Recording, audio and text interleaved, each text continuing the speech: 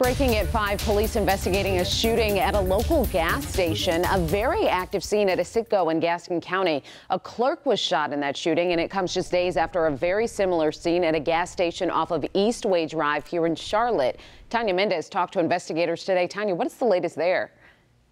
Police say after the two robbed the place, they actually took off down the road this way. One of them ditching the gun right there in the railroad tracks right down the street from where this all happened. Police catching them a short time later. Stanley Convenience Store, the mom and pop where people pop in and out all day. Everybody comes to the store. I come to the store every day.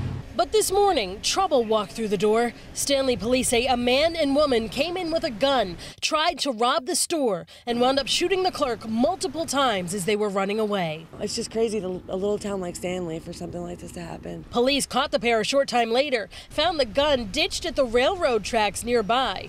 Police now collecting the clues left behind. Customers say the clerk is an older man who always looked out for everyone.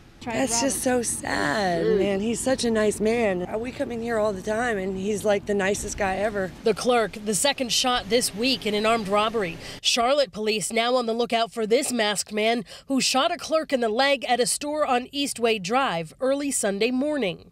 We're told the clerk is expected to be okay. They haven't released his name yet. Reporting in Stanley, I'm Tanya Mendes, NBC Charlotte.